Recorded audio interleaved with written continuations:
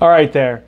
You need to have a professional development process or a plan um, in order to move yourself forward. Just because you go to work eight to five, seven to seven, you're not going to learn things by default.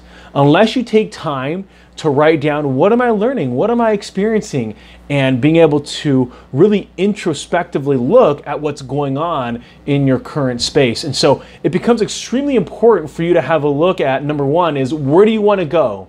and what do you need in order to get there.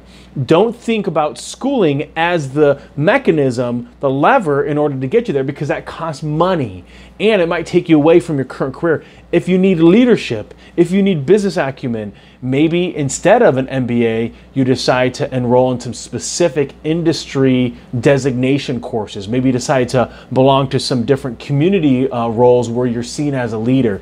I think a lot of times we can be much more proactive for a lot of people, maybe going back to school is the um, the solution in order to get that master's in accounting degree to get that to get sit ready uh, to sit for the CPA exam. However, I think a lot of people would say the CPA designation is probably more important than the master's of accounting degree understand your own resume, understand your own pedigree and how you came up to where you are, and know again how, your best form of learning. So if your best form of learning is in front of someone face to face in group setting um, where there's accountability, then maybe school is your best mechanism. If you learn best by doing, then make sure you're with a firm that does a ton of tax returns. Make sure you're with a firm that will reimburse you to go sit for that C- CPA exam. Will give you the time to be able to sit for um, um, study for that CPA exam. I think there's a lot of opportunity for us to take control of our career and really